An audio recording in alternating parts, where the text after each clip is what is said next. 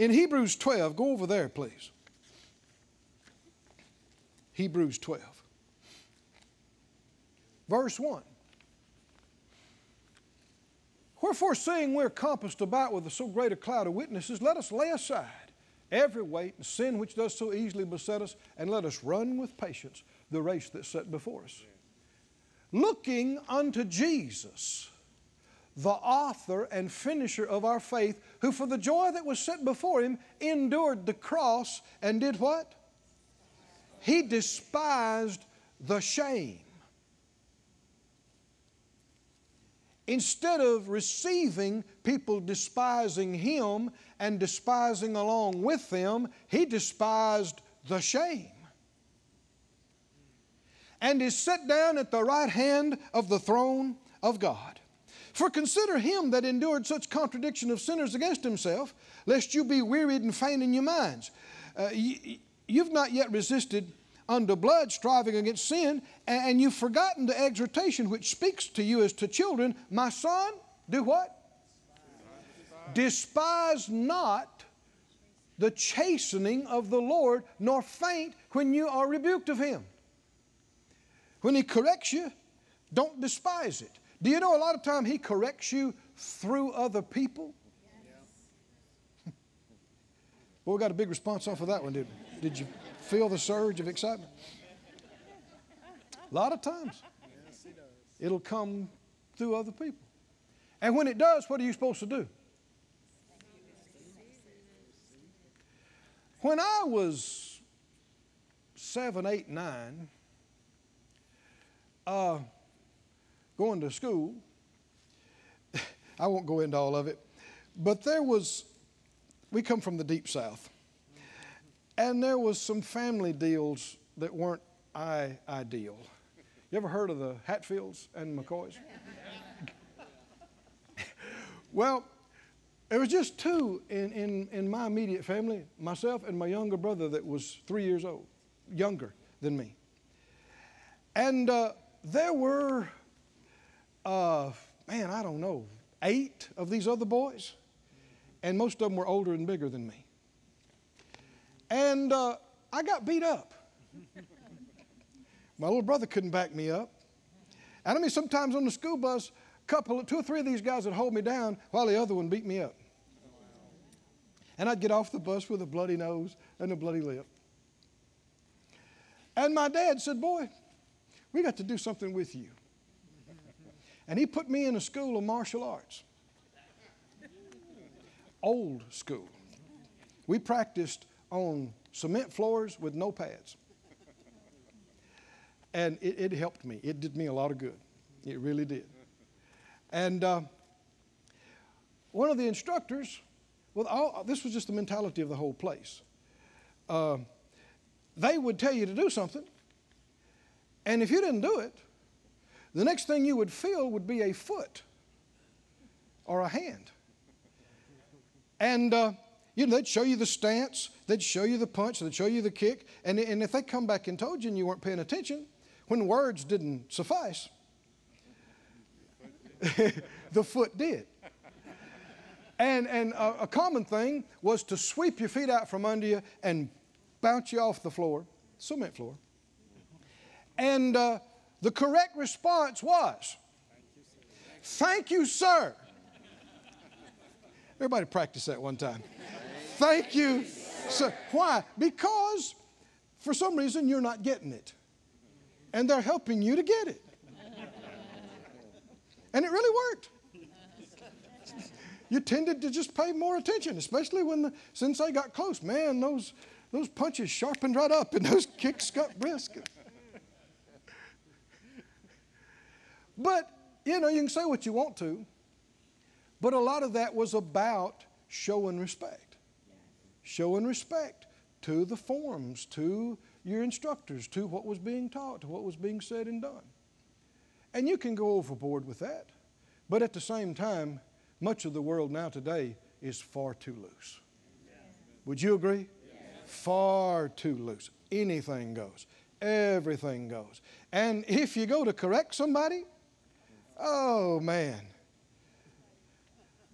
you're, they're not liable enough to even show up the next day. And next thing you'll hear is you're being accused of verbal abuse.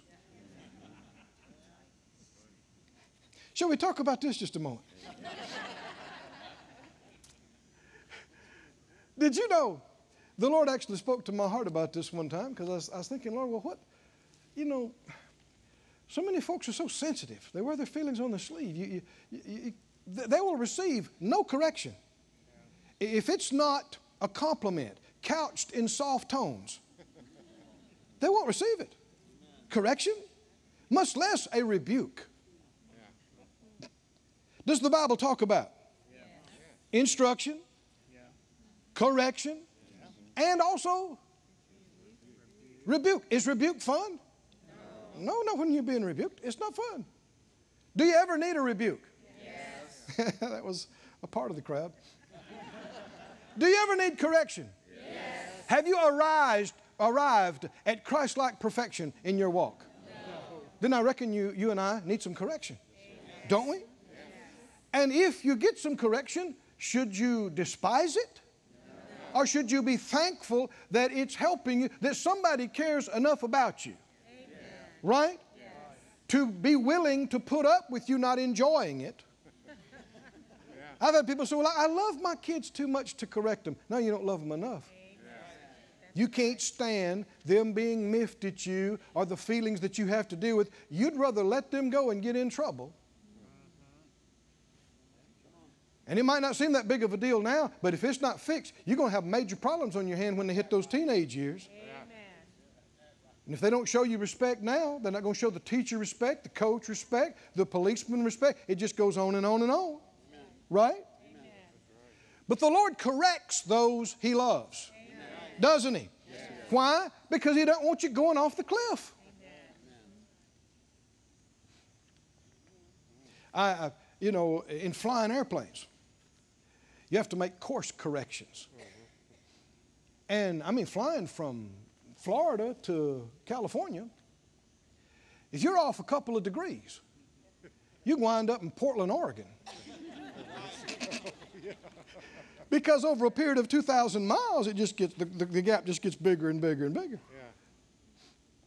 Yeah. And you have to make course corrections. And I've asked people before, you know, if we're flying along, and all at once I realize there's a mountain there in the windshield, would it be okay if I made a drastic course correction and caused you to spill your Coke yeah. and maybe even half throw you out of your chair? Would that be, would that be okay? Yes. Sometimes small corrections suffice. But if you're off course enough, you need a big correction. And you may need somebody yelling, Get out of the way, change, move now, move now. And if you go, You're yelling at me, you're yelling. well, run into the mountain then, I guess.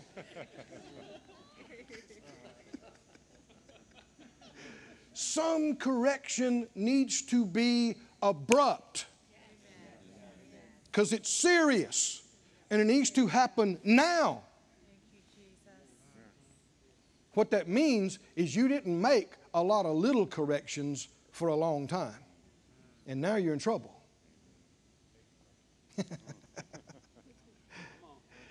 but in thinking about this, uh, I, I, I just checking my heart about it. And I'm not talking about being mean, for, I'm not just talking about yelling for no reason. We ought to be kind all the time. But if you're about to run off the cliff, that is kindness for somebody to shout at you and get your attention. And the Lord uh, spoke, spoke to my heart. He said, Yes. He said, uh, If I had operated and lived in your day, I would have been accused of verbal abuse. Really? The Lord would have been accused of verbal abuse? Well, think about it. Think about it. Have you, have you read the gospel accounts? Have you read them? Did he ever speak sharply to people? Did he? You vipers, how are you going to miss hell? When you make a convert, you make him twice the child of hell that you are. Direct quote. Didn't talk like that all the time, but there were times he did. He reminded me of the situation of Peter walking on the water. And I, I hadn't thought about it like this, but it just, un, it, it just unfolded like this to me in my mind. He helped me to see it. To understand that phrase, if he had lived today, some would have accused him at times of verbal abuse too. The scenario where Peter's walking on the water, but then he got to looking at the wind and waves, and he began to sing, cried out, Lord, save me. And the Lord grabbed him. And what did the Lord tell him? What did he say? Where's your faith? Why did you doubt? If that had been a lot of people, they'd have been at their therapist the next day.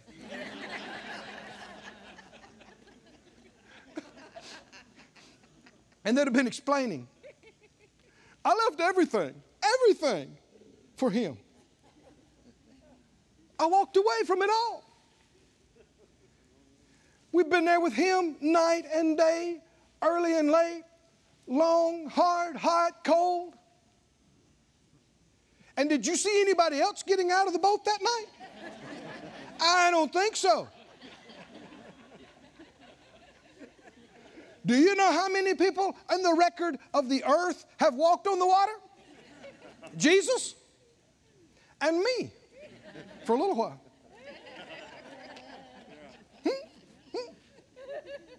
And does he say, Good job, Peter? Does he say, All right, Peter? You walked on the water, just you and me. He's the only one that ever have. No. He says, Where's your faith? Where's your faith? Why'd you doubt? I can't take it anymore. That is not enduring hardness as a good soldier. Right. Amen. That's being a whiny baby. It is. Whiny baby. Yeah. Look at your neighbor. Help him out. Say, don't be Don't be. a whiny baby. Don't, don't be a whiny baby.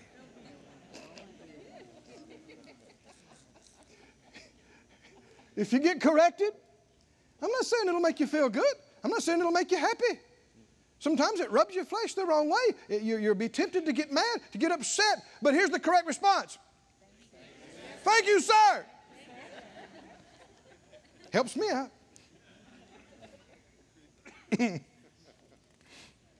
he said, Despise not the chastening of the Lord, nor faint when you are rebuked of him. Don't despise it. Skip down to verse 15. He's talking about what happened with Esau. Can you see all this flows together? He kept talking about despising and not despising. And now he's talking about Esau because he is one of the big examples in the Bible of somebody that despised a holy thing of God. He said, verse 15, looking diligently, lest any man fail of the grace of God, lest any root of bitterness springing up trouble you, and thereby many be defiled. Lest there be any fornicator or profane person as Esau, who for one morsel of bread sold his birthright. Whose birthright was it? It was his. Who did it belong to? Him. From who? From the Lord. Did he lose it? Yes, he did. Did somebody else wind up with what was his from the Lord? Yes, that's a revelation we need to get. All this is not set in stone. It's yours if you'll value it, if you'll esteem it, if you'll honor it, if you'll appreciate it. Verse 17, you know how that afterward, when he would have inherited the blessing, he was rejected, for he found no place of repentance, though he sought it carefully with tears. Now, this is how real the blessing is. You remember the story. How that after this happened, I guess years passed, some time passed, and Esau and Jacob's dad's about to die and go home.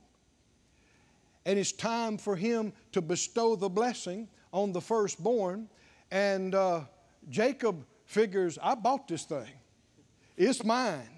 And him and his mom framed up to go in and pretend that he's his brother, and for his dad to pronounce the blessing of the birthright of the firstborn on him. And they did that. And Esau was also, he was, he was planning on coming and getting it, even though he had sold it to his brother. And uh, when uh, Jacob came in, and his father said, Well, come close to me, because he couldn't see. He was old and had lost most of his vision. And he said, uh, Well, now you, uh, you smell like Esau. Because he had his clothes on and stuff. He got some Esau's clothes. And he said, uh, You know, he put that goat's hair on his arms because Esau had hairy arms. And he said, And you got, you know, the hairy arms. He said, But you don't sound like him. And I don't know how he convinced him, but he did. And so his father spoke over him. And if he prayed over him, if he laid hands on him, but he spoke the blessing of the firstborn over him. These things are holy, friend. These things are precious. They, they matter. They mean something. They have power in, in life. Well, Esau comes in, and uh, his father was alarmed, and he said, What do you mean? You're Esau. Esau was just in here. He said, No. No, I just, I just got back from my hunting. Here's the food that you asked for. And, and he said, No. He said, Your brother has come in and taken your blessing.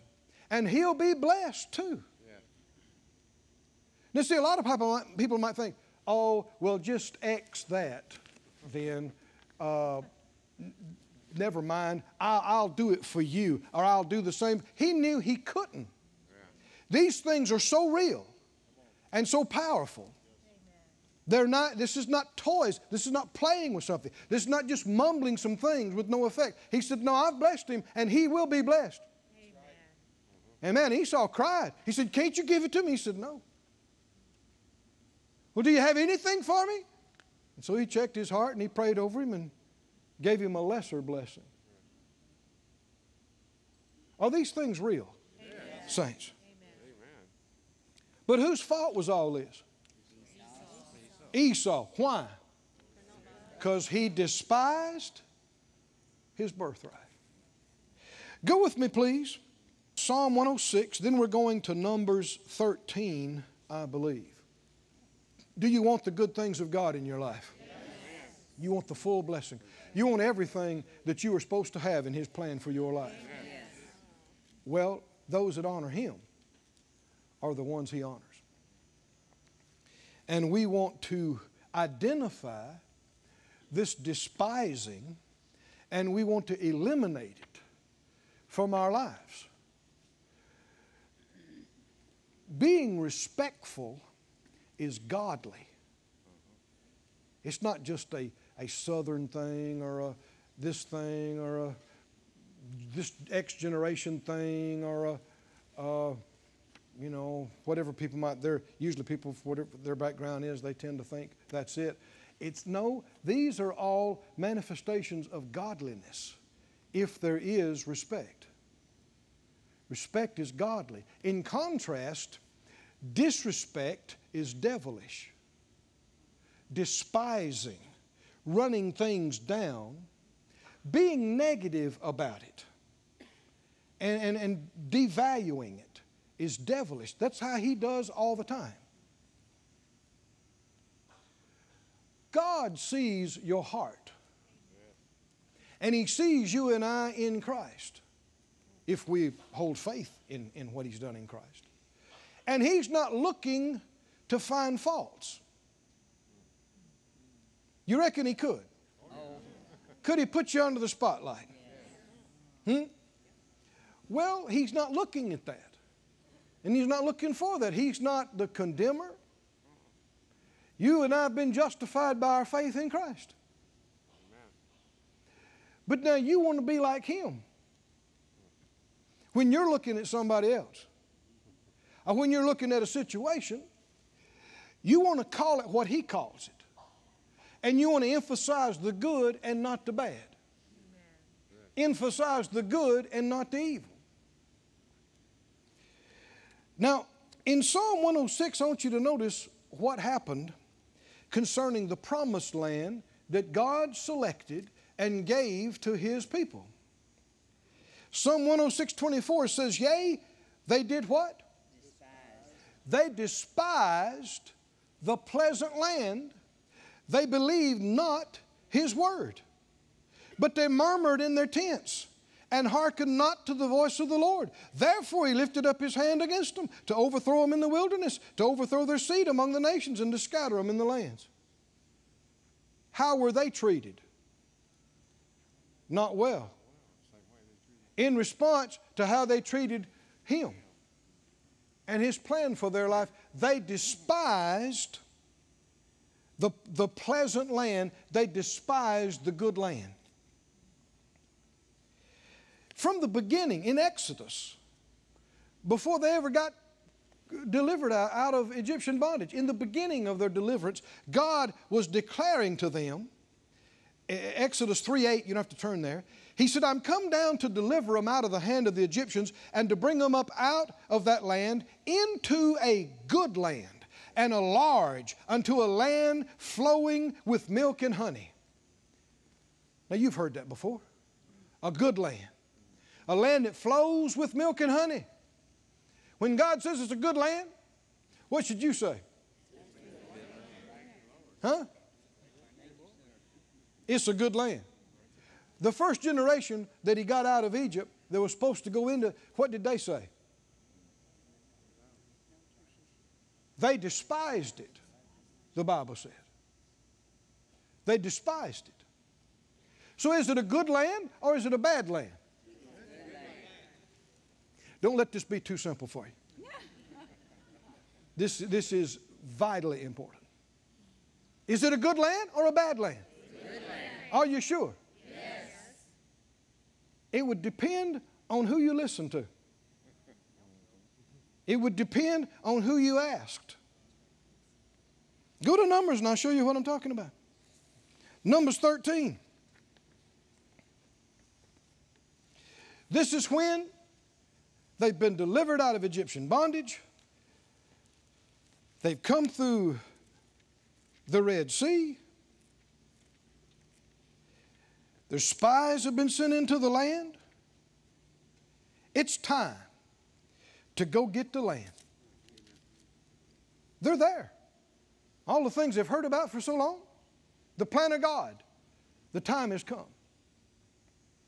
So they sent 12 spies to verify exactly what was there, to get a, put their eyes on it and see. And verse 25, Numbers 13 25, they returned from searching the land after 40 days. And they went and came to Moses and to Aaron, to all the congregation of the children of Israel, to the wilderness of Paran to Kadesh, and they brought back word to them and to all the congregation, and they showed them the fruit of the land. And the fruit was just off the chart. Amazing. You know the story. Had to haul the grape clusters on, on, a, on a rod between men. The, the, the, you, you talk about Miracle-Gro. this was blue ribbon fair, you know, contest winning produce. Big, luscious, sweet tasting, amazing. They'd never seen anything like this. Well, it shouldn't be surprising. God picked it out for you. And God said, It's a good land. Didn't He say that? It's a good land. It flows with milk and honey. I've, I've selected it for you, I've picked it out for you. What did they say about the land? It's a land that will chew you up and spit you out. It's a bad land. It's a, you want to die? Then go over there. It's a place of death. It's a place of ruin and destruction. Friend, this is serious business. When you call evil what God calls good. How much more disrespectful can you be? God says it's a good land. It flows with milk and honey. It's amazing. I got it for you. He didn't tell them about the giants. He didn't want to. He's already got a plan. Right? They said they couldn't do it, but was it true? The next generation did it. Proving the first generation could have done it. But the reason they didn't is because they despised what God said was good. We trust this message has ministered to you. Faith Life Church now has two locations in Branson, Missouri and Sarasota, Florida. Service times in Branson are Friday nights at 6:30 and Sunday mornings at 9 a.m. Service times in Sarasota are Friday nights at 7:30 and Sunday mornings at 10. For more information, please visit our websites, flcbranson.org and flcsarasota.org, or call us at 417 334 9233.